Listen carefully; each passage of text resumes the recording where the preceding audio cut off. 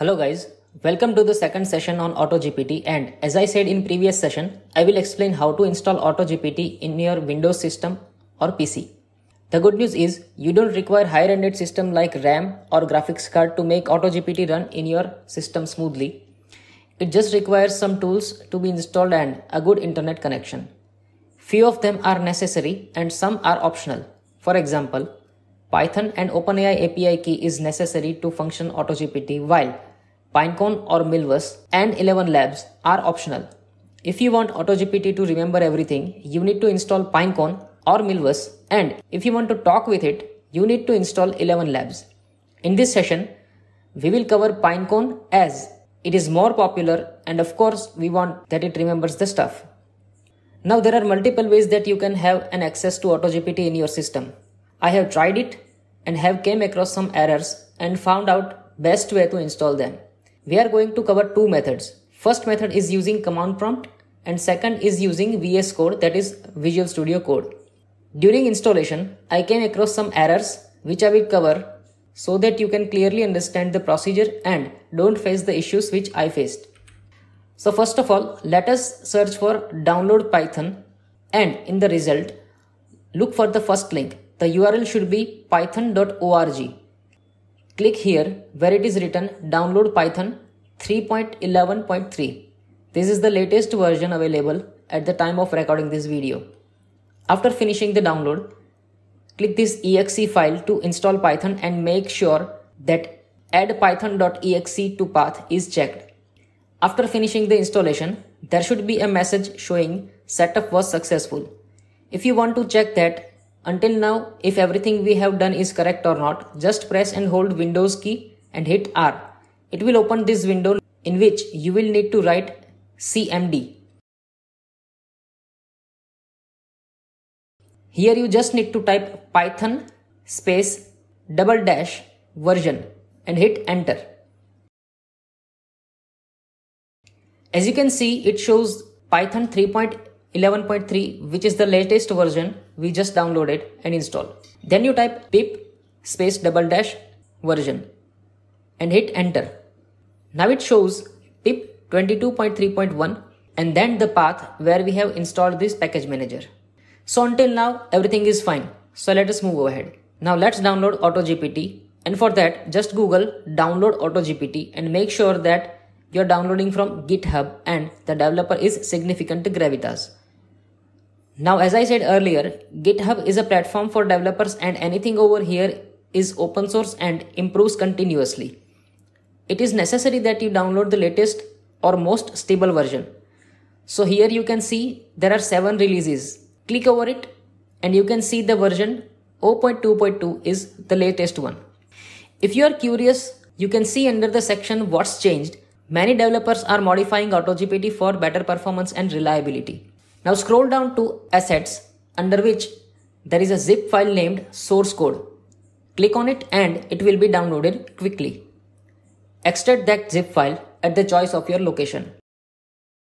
If you open that folder, you can see that the file it contains is exactly the same as shown on the GitHub. So up to now everything is fine. Next, go to the folder we just extracted from the zip file and look for the file named .env.template and open it with notepad.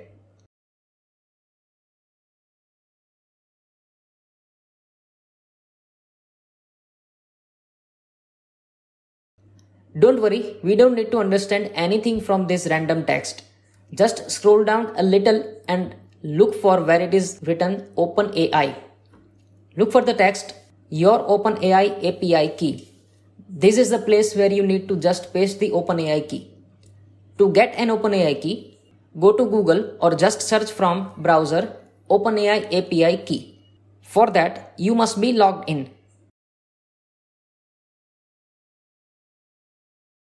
After logging in, you will be directly redirected to API key section. Now I already have experimented with this so I already do have API keys generated. However, I will show you how to create new one.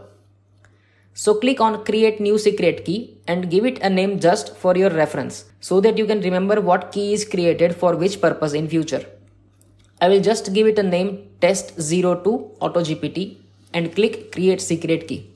Now you can see that API key is generated and you can copy the key by clicking on these two square like symbols. As you click over it, it will be copied which we need to paste in the notepad as we seen couple of minutes before.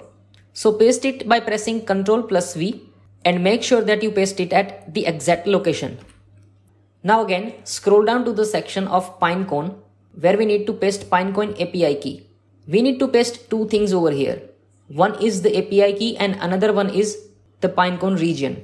So in the URL bar, just type pinecone.io and hit enter.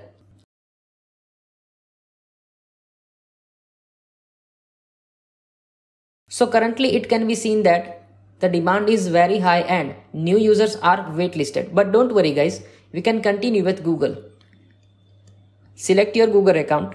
After that, click on API keys written at left side of the page and on the upper right corner, click on create API key. Now for the name of Pinecone API key, you cannot give space or uppercase. It only allows lowercase letters, numbers and hyphens. So I will give it a name similar to the one I have given to OpenAI API key for my reference and that is test02 AutoGPT all without space and in lowercase. Now click on create key and you can see that the key is created. You can copy it by clicking here and paste it where it is written your Pinecone API key. Now come back to the Pinecone site and copy whatever is written to the environment column of the key we just created and paste it such that the text your pinecone region is replaced. Now save the file and close it. Now go to the folder and just rename the file in which we just pasted the keys using notepad. Just remove rename and keep .env as it is. A warning will be shown that if we change the extension, it may be unusable but you can ignore it and just click yes. Now click on the address bar of the folder where we have copied AutoGPT folder and type cmd and hit enter. Benefit of directly opening command prompt from here is that you don't need to change the directory to reach this location after opening the command prompt. You can see that we are directly reached at the location where we want to perform some task or where we have pasted the AutoGPT file. Now just type pip space install space dash r space requirements.txt and hit enter. Okay, now here is the error that says could not open requirement.txt file error to no such file or directory. So basically it says that it is unable to find the file at the given location. In command prompt, we are currently in the folder named AutoGPT 0.2.2 which is in downloads. But the file we require is in the folder located in AutoGPT 0.2.2, which is a subfolder. Moreover, it says that the new release of pip is available and the version difference is also mentioned. If you paste this line in command prompt, it will download the latest release. However, it is not necessary to do that. But we will do it right now. So let's just copy whatever is written over here, paste it and hit enter. So now it is downloading the latest version of pip which is approximately 2.1 MB. So now it has successfully installed the latest version. Okay, for the error of requirement.txt file, let us change the path of the folder in command prompt. For that, copy the address from here, go to the command prompt and type cd, then just give a space and paste the path you just copied. Hit enter. Now you can see that we are at the correct location where the file requirement.txt is located. Now again, type or I will just copy and paste these line and hit enter. So you can see that it has started downloading something.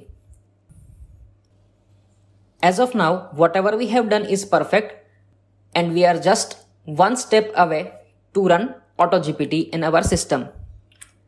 But before that, we need to install Git in our system. Most of new users might not have already installed it because Git is an open source distributed version control system which many ordinary users don't require and it is more useful to developers. Git records the changes made in the code over the period of time. In short, if we don't install it, you will come across an error like this. So let's quickly install Git first. So go to URL bar and type download Git. Click on this link which will open up a download page. Now click on Windows, select 64-bit for Windows setup. By the way, you can check your version like this. Click on start, type this PC and go to properties. Here you can see that your system is of 32-bit or 64-bit.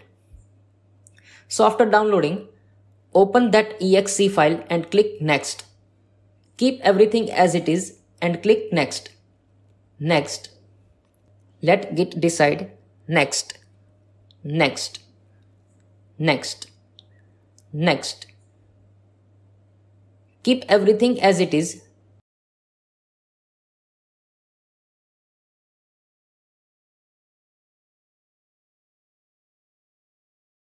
Don't check these boxes and click install.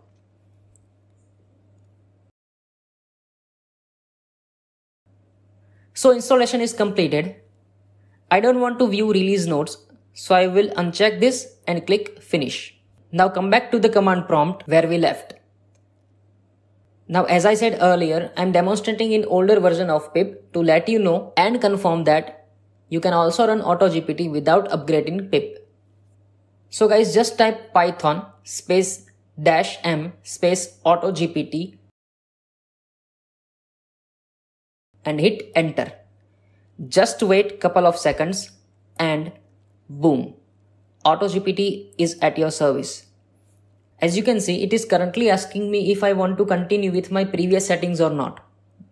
This is because I already installed it and tried running it. So this was the first method of installing AutoGPT in your system. See you in the next session of another method of installation. Happy learning. Thank you.